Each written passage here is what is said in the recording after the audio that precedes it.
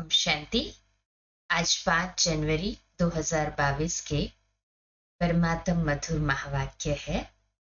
मुरली का टाइटल है, मीठे बच्चे, तुम्हें अभी नया जीवन मिला है। पुराना जीवन बदल गया है, क्योंकि तुम अब ईश्वरीय संतान बने हो। तुम्हारी प्रीत एक बाप से है। महसूस कर रहे सभी। बाबा से अपनी प्रीत को मैं हाजी बाबा, आज का प्रश्न है, ब्राह्मण सो देवता बनने वाले हैं, उनकी मुख्य निशानी क्या होगी? बाबा उत्तर देते हैं, वह ब्रह्मा की मुखवंशावली ब्राह्मण सभी एक मत वाले होंगे। उनमें कोई भी मतभेद नहीं हो सकता। आपस में फुट नहीं पड़ सकती। लौकिक में जो ब्राह्मण कहलाते हैं, उनमें तो अनेक मतें होती है। कोई अपने को पुष्करणी कहलाते, कोई सार सिद्ध कहलाते। तुम ब्राह्मण एक बाप की मत से देवता बनते हो। हम कौन से ब्राह्मण हैं? ब्रह्मा मुखवंशावली है। देवताओं में कभी फूट नहीं पड़ती। भुवनहार देवताएँ हैं। ये सदा स्मृति में रहे एक दूसरे को आदर दे रिस्पेक्ट दे। है ना सभी ऐसे ही? है हाँ जी बाबा। आज का गीत है, जिस दिन से मिले हम तुम। ओम शांति। जब जीव आत्माएँ और परमात्मा अथवा बच्चे और बाप मिलते हैं तो नई प्रीत हो जाती है, क्योंकि और संग प्रीत टूट जाती है। जैसे कन्या की पहले तो पियर घर से प्रीत होती है। सगाई होने से नई प्रीत जुटती है। उनके लिए सारा ससुर घर नया होता है। नई दुनिया की नई प्रीत जुटती है। तो सारे नए परिवार से प्रीत जुट जाती है। अब गायन भी है। आत्माएँ परमात्मा, अलग रहे बहुकाल। यह सुंदर मेला है ना नया? यह घर नया, यह संबंध नया। तुम जानते हो, हम हैं ब्रह्मा कुमार और ब्रह्मा कुमारियाँ शूद्र कुमार और शूद्र कुमारियाँ अभी नहीं है। ब्रह्मा और ब्रह्मा कुमार कुमारियाँ का आपस में कितना लव है? क्योंकि यह हो गए ईश्वरीय संतान। सभी कौन है हम? ईश्वरीय संतान। नशा चढ़ा जिनको नशा चढ़ा हाथ ऊपर करे, ईश्वर तो है निराकार। उनके साथ लव तो साकार में चाहिए। निराकार को कैसे लव करेंगे? आत्मा शरीर से अलग हो जाती है तो लव नहीं होता। केवल आत्मिक स्थिति में होती है ना तब तो। आत्मा और परमात्मा जब साकार में मिले, तब स्नेह होना निराकार रूप में भल गाते रहते हैं। तुम मात पिता हम बालक तेरे, तुम्हारी कृपा से सुख घनेरे परंतु अनुभूति नहीं हुई ना? तुम आओ तो तुम्हारी कृपा से हमको सुख घनेरे मिले। पुकारते आए ना ऐसे। पतित पावन आओ, गाते हैं ना? गाया है ना सभी ने? कहे हाँ जी बाबा। हमारी पुकार सुनकर ही तो बाबा आया है। दुख धाम भारत ही तो था ना? बरोबर भारत महान था तो अतः सुख था। उनका नाम था सुखधाम और अभी भारत ही क्या बन गया है? सुखधाम। और जहाँ आत्माएँ रहती है, वह है शांति धाम वहाँ तो आत्माएँ पवित्र ही रहती है। अपवित्र कोई आत्मा रह नहीं सकती। तुमको अब बाप मिला है तो नया जीवन मिला है। पुराना जीवन बदल, अब नया जीवन बना रहे हैं। अपने बाप से बेहद सुख का वर्षा ले रहे हैं। सुख घनेरे भारत में ही होते हैं, स्वर्ग में। और शांति घनेरी होती है निर्वाण धाम में, जहाँ तुम्हारा और हमारा घर है।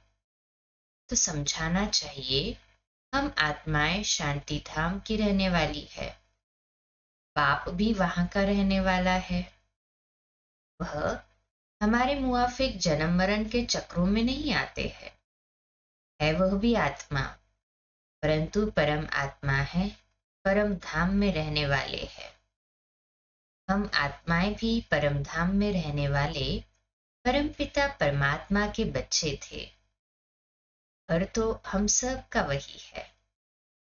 घर भी सबको याद है कोई मरता है तो कहते हैं फलाना पार निर्वाण गया। वह है वाणी से परे स्थान। सूर्य चाँद की जहाँ हाँ, बाबा कहते हैं सूर्य चाँद की जहाँ गम नहीं हम वहाँ के रहवासी है। सूर्य चाँद वहाँ उगम नहीं करते हैं हाँ परम धाम में तो। अब बाबा को याद करते रहते हैं सभी। जब बाप आते हैं तो नई बातें फिर से सुनाते हैं।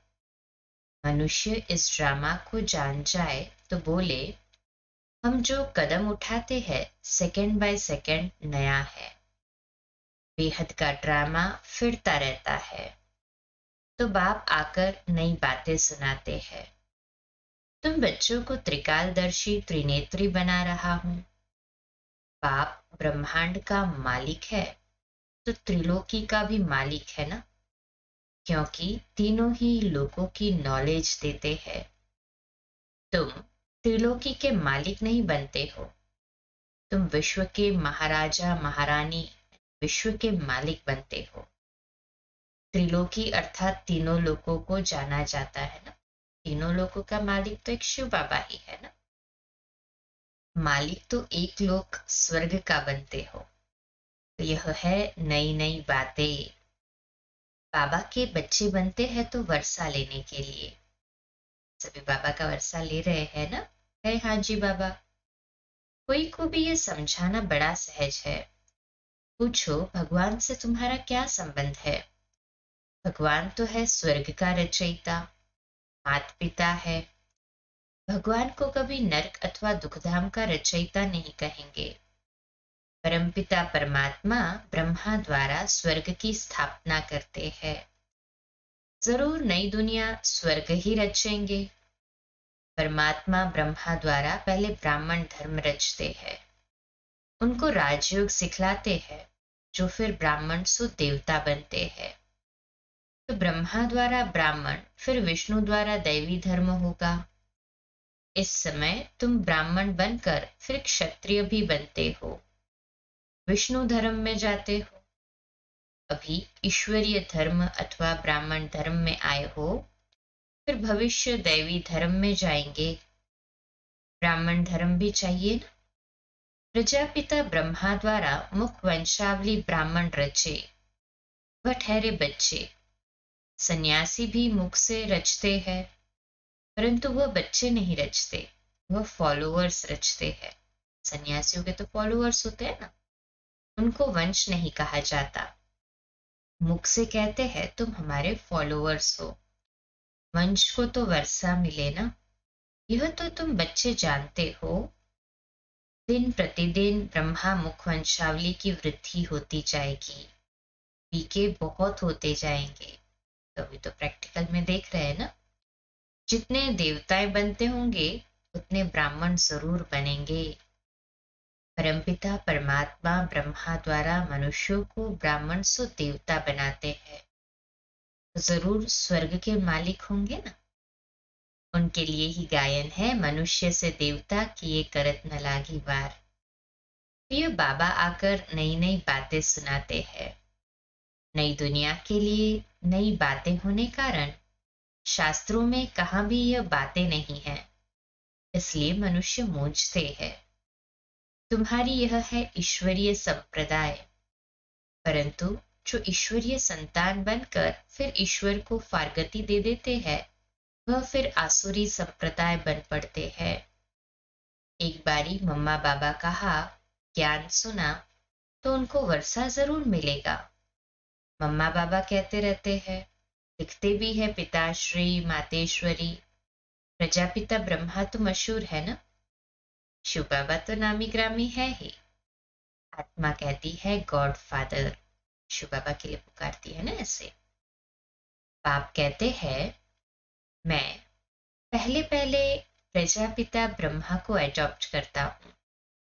यह ब्रह्मा की एडॉप्शन सब ब्राह्मण है। हम्म, शिव बाबा ब्रह्मा बाबा को एडॉप्ट करते और फिर ब्रह्मा के मुख से हमें शिव बाबा ने अपना बनाया अर्थात फिर ब्रह्मा बाबा ने अडॉप्ट किया ना। ब्राह्मण बने तो नई रचना हुई ना? ज़रूर बहुत होंगे। इतने सब विष से थोड़ी पैदा हो सकते। गाया भी जाता है, प्रजापिता ब्रह्मा और जगदम्बा। ब्रह्मा भी एक, विष्णु भी एक, लक्ष्मी नारायण भी एक, जगत अम्बा भी एक होती है। इन्हीं फीचर्स वाला फिर कभी नहीं यही सेम फीचर्स वाला फिर कभी नहीं देखेंगे, बाबा कहते हैं। देखो, ये भी वंडर है ना हर एक आत्मा के चौरासी जन्म होते हैं, परंतु हर जन्म में फीचर्स भी चेंज हो जाते हैं। एक मनुष्य फिर कल्प बाद ही उसी फीचर्स में देखा जा सकता है। कब दिखाई देगा उसी फीचर में हूबहू? कल्प बाद, पाँच हज़ार साल के बाद। यहाँ तो एक ही को बहुत फीचर्स में बना देते हैं। हाँ बहुतों के नाम राधे कृष्ण है। परंतु समझते थोड़े ही है। राधे कृष्ण तो स्वर्ग के फ़र्स्ट प्रिंस प्रिंसेस का नाम है। हम तो पतित है। हम कैसे यह नाम रख सकते हैं? तो शिव बाबा यह नई नई बातें सुनाते हैं। नई दुनिया के लिए यह नई बातें, नया ज्ञान है। बाप कहते हैं, हमने ही कल्प पहले भी नई बातें सुनाई थी। अब फिर सुना रहे हैं। तुम अभी सुन रहे हो।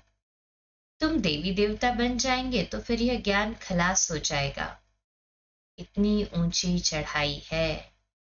यह भी गाया हुआ है, आश्चर्यवत अपने बाप के बनंती, सुनंती, औरों को सुनावंती।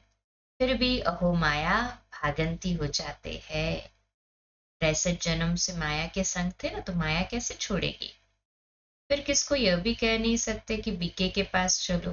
खुद ही छूट गए तो दूसरों को कैसे कहेंगे ना? यह भी ड्रामा में नूंद है। नथिंग न्यू बहुत आते हैं और जाते रहेंगे। उससे हमारी स्थिति डिस्टर्ब न हो, न हमारा कोई संकल्प विकल्प चले। कि ड्रामा में हर एक का पार्ट है ना? कि में बैठे हुए भी माया से हारकर भागंती हो गए। स्वर्ग में तो आएँगे जैसा पुरुषार्थ किया है, वैसा पद पाएँगे। अपने लिए व अपने संबंधी आदि के लिए कोई पूछे तो बता सकते हैं। खुद भी समझ सकते हैं कि इस हालत में क्या पद होगा। पाप बैठ समझाते हैं दिल्ली में सब धर्मों की कॉन्फ्रेंस होती है। अब कॉन्फ्रेंस करते हैं कि सृष्टि पर शांति कैसे स्थापन हो, या आपस में मिलकर एक जैसे कैसे हो जाए। एक तो हो न सके ना। रिलीजियस हेड की कॉन्फ्रेंस है, परंतु उनको तो पता नहीं है कि धर्म नंबरवार कैसे है। पहला नंबर धर्म कौन सा है? रिलीजियस हेड्स माना, जिस जिसने धर्म स्थापन किया, वह हेड्स आए। जैसे चीफ मिनिस्टर्स की कॉन्फ्रेंस होती है तो उसमें कलेक्टर व जज आदि नहीं आ सकते। गवर्नर्स की आपस में कॉन्फ्रेंस होगी तो गवर्नर्स ही आएँगे। हाँ करके गवर्नर अपने प्राइवेट सेक्रेटरी आदि को साथ में ले आए। विचार करना चाहिए कि यह सब धर्म नंबरवार कैसे स्थापित होते हैं। सबसे बड़ा धर्म कौन सा है? बोलो। सबसे पुराना धर्म ही सबसे बड़ा होगा ना? तो सबसे पुराना धर्म कौन सा है जो भी प्रायोलोक हो गया? आदि सनातन। तो देवी देवता धर्म ही था ना। उस धर्म का हेड कहाँ है? वह धर्म किसने स्थापन किया? कृष्ण तो अभी है नहीं। नहीं तो फिर कृष्ण को मानने वाले चाहिए। वह है वल्लभाचारी। तो ज़रूर हमारा देवी देवता धर्म था ना। वह फिर हिंदू धर्म कह देते हैं। परंतु हिंदू धर्म तो है ही नहीं। पूछो हिंदू का हिंदू धर्म का धर्म स्थापक कौन है? कहेंगे नहीं, क्योंकि वो धर्म ही नहीं है ना। देवता धर्म का अभी कोई है ही नहीं। तो धर्मों के हेड्स आने चाहिए। साथ में भल सेक्रेटरी आदि को भी ले आए। मुख्य धर्म तो है ही। मुख्य धर्म तो है ही। उनके हेड्स चाहिए। देवी देवता का हेड कौन है? बाबा आज बार बार पूछ रहा है। पूछना चाहिए ऐसे। डायरेक्टली नहीं बताना चाहिए, पूछना चाहिए। गाते तो है goddess of knowledge Saraswati, Prajapita, Brahma. तो ज़रूर यही बड़े होंगे। वह भी समझेंगे, ब्रह्मा से ब्राह्मण धर्म हुआ। परंतु यह नहीं जानते कि यह ब्राह्मणों को कैसे पढ़ाकर देवता बनाते हैं। वह ब्राह्मण लोग भी कहते हैं, हम ब्रह्मा की संतान हैं, परंतु कैसे पैदा हुए, यह नहीं जानते। फिर ब्राह्मणों में भी कोई पुष्करी, कोई सारसती, कोई कैसे है? यहाँ तो ब्रह्मा के बच्चे ब्राह्मण ही ब्राह्मण हैं। सभी ब्रह्मा के बच्चे कौन है? ब्राह्मण ही ब्राह्मण। और कोई फूट इनमें पड़ती ही नहीं है। दूसरे ब्राह्मण, ब्राह्मणों में फूट पड़ती है। इनमें नहीं पड़ती। न कभी देवताओं में फूट पड़ती है। यहीं से देवताई, गुण या देवताई संस्कार हमें इमर्ज करते हुए जाना है ना? सूर्यवंशी, सब सूर्यवंशी मतभेद की बात नहीं हुँ? हम्म? देखो, सूर्यवंशी, सब सूर्यवंशी होंगे सत्य। वहाँ पे भी मतभेद की बात नहीं होगी ना? फूट में कितना नुकसान हो जाता है। तो बाप से तो तुम नए नए बातें सुनते हो ना? कोई गाते हाँ कोई गीत नहीं गाते। न, बाबा कहते हैं नॉलेज देते हैं तो नए प्रकार की है ना नॉलेज सारे सृष्टि का चक्र की नॉलेज देते हैं, जो धारण करनी है। ऐसा जो बाप टीचर गुरु, उनको फारकती दे, पढ़ाई थोड़ी छोड़ देना चाहिए। ना ऊँचा बाप टीचर गुरु है तो उनको कभी फारकती देने का संकल्प भी आना चाहिए? नहीं ना? पढ़ाई छोड़ी, गोया बाप को छोड़ा। स्टूडेंट नहीं तो बच्चे भी नहीं। बाप को छोड़ा गोया वर्षे को गवाया। पतित पावन एक ही बाप है। बाप कहते हैं अब कयामत का समय है। सबको वापस जाना है।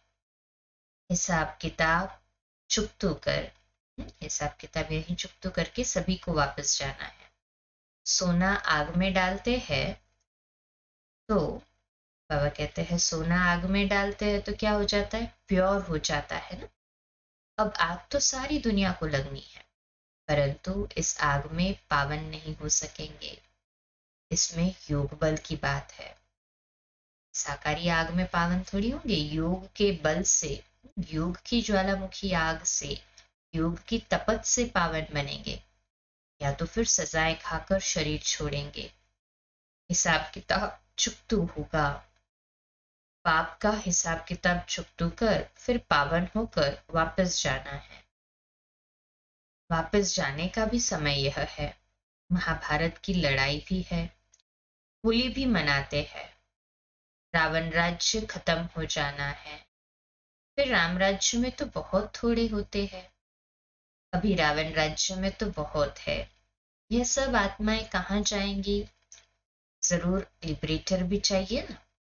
बाप कहते हैं, मैं सबको ले जाऊँगा, सबकी ज्योति जगा कर ले जाऊँगा। फिर उन्हों को अपना अपना पार्ट बजाना है। तुम जानते हो हम देवी देवता धर्म में आएँगे। मुक्ति धाम में जाकर फिर वापस चले जाएँगे। चौरासी जन्म भोगेंगे। सूर्यवंशी, चंद्रवंशी बनेंगे। सारा चक्र बुद्धि में आ गया है। आत्मा बता सकती है कि आओ तो हम आपको शुबाबा का ऑक्यूपेशन बताए। बच्चों के सिवाय तो कोई बता न सके ना। वह कहेंगे, परमात्मा तो निराकार है। उनका फिर ऑक्यूपेशन क्या बताएँगे? उनको तो पता ही नहीं ना कि परमात्मा की पधरावनी होती है इस समय।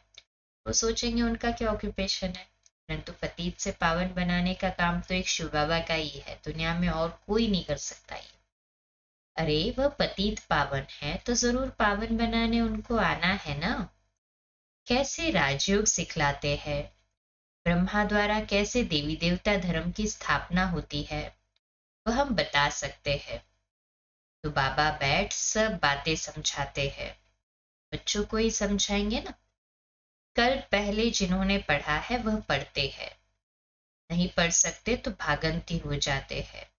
नई बात नहीं है। फिर बाबा का हमेशा बच्चों पर लव रहता है। बेचारा फिर भी आकर बाप से पूरा वर्षा ले। हम्म, बाबा की तो हमेशा रहम की भावना होती है। परंतु तकदीर में नहीं होगा तो क्या कर सकते हैं? बाप का तो लव है ना? क्योंकि भक्ति मार्ग में भी बाप को बहुत याद करते हैं। जो भी देवी देवता धर्म वाले होंगे वह ज़रूर याद करते होंगे। आधा कल्प खूब याद करते हैं। आत्मा ने सुख पाया है तो दुख में बाप को याद करेगी। वह जास्ती भक्ति कर पुजारी से फिर पूज्य बनते हैं। जो देवी देवता थे, उनका ही सैपलिंग लग रहा है। तो कॉन्फ्रेंस आदि जब कहाँ भी होती है तो उनमें मुख्य धर्म वाला, धर्म वालों को बुलाना पड़े ना। बीके को बुलाए तो वह पूरी राय देंगे। प्रजापिता ब्रह्मा के बच्चे ब्रह्मा कुमार कुमारियों की पूरी राय दे सकते हैं कि क्या करना है। तुम पीस चाहते हो, परंतु पीस तो निर्वाण धाम में ही होती है ना। अभी तो दुख धाम है। अनेक धर्म है। एक धर्म था तो सुख शांति सब कुछ था। अभी यह विनाश तो ज़रूर होगा। इसमें तो खुश होना चाहिए। स्वर्ग के गेट खुल रहे हैं। ऐसे ऐसे बच्चियों को समझाना पड़े। समझा? अच्छा मीठे मीठे सिकिलदे बच्चों प्रति माता पिता बाप दादा का याद प्यार और गुड मॉर्निंग। रूहानी बाप की रूहानी बच्चों को नमस्ते। हम रूहानी बच्चों की रूहानी माता पिता बाप दादा को याद प्यार गुड मॉर्निंग और नमस्ते। वाह बाबा वाह, शुक्रिया, बाबा, शुक्रिया। धारणा के लिए मुख्य सार है पहली पॉइंट कभी भी बाप को व पढ़ाई को छोड़ वर्षा नहीं गवाना है। एक मत हो रहना है। दूसरी पॉइंट सजाओं से छूटने के लिए योग बल से पुराने सब हिसाब किताब चुप्तू करने हैं रहना सभी योग से हिसाब किताब चुप तो। हाँ जी बाबा, आज का मीठा वरदान है। ट्रस्टीपन की स्मृति से निमित्त समझ हर कार्य करने वाले डबल लाइट भव। इसका विश्लेषण है। निमित्तपन का भाव बोझ को सहज खत्म कर देता है। मेरी जिम्मेवारी है, मेरे को ही संभालना है, मेरे को ही सोचना है तो बोझ होता है। जिम्मेवारी बाप की है और बाप ने ट्रस्टी अर्थात निमित्त बनाया है। इस स्मृति से डबल लाइट बन उड़ती कला का अनुभव करते रहो। जहाँ मेरा है, वहाँ बोझ है। इसलिए कभी किसी भी कार्य में जब बोझ महसूस हो तो चेक करो कि कहीं गलती से तेरे के बजाय मेरा तो नहीं कहते? गलती से भी तेरे के बजाय मेरा आया तो झमेला हो जाएगा। इसलिए सब कुछ बाबा का। मैं ट्रस्टी हूँ। तो आज का हमारा स्वमान भी लिखने के लिए और अभ्यास करने के लिए है। मैं ट्रस्टी हूँ। अच्छा आज का स्लोगन, हर बोल में आत्मिक भाव और शुभ भावना हो तो कोई भी बोल व्यर्थ नहीं जा सकता। तो लवलीन स्थिति का अनुभव करने के लिए आज का पुरुषार्थ है। जैसे कोई सागर में समा जाए तो उस समय सिवाय सागर के और कुछ नज़र नहीं आएगा। ऐसे आप बच्चे सर्वगुणों के सागर में समा जाओ। बाप में नहीं समाना है, लेकिन बाप की याद में, स्नेह के सागर में समा जाना है। बाबा की यादों के, स्नेह के सागर में सभी समाये रहें। आज इस स्वमान का अभ्यास करें और लिखें, मैं ट्रस्टी हूँ। गृहस्थी नहीं कैसे है सभी? ट्रस्टी, सब कुछ बाबा का है। निमित्त बनकर संभाल रहा हूँ। अच्छा कम बोलो, धीरे बोलो, मीठा बोलो, सत्य बोलो, सोच समझ कर बोलो। निमित्त भाव, निर्माण भाव, निर्मल वाणी। ओम